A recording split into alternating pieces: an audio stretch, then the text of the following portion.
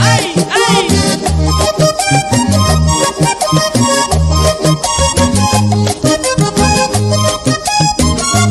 Para el doctor Domingo Rodríguez en Barranquilla.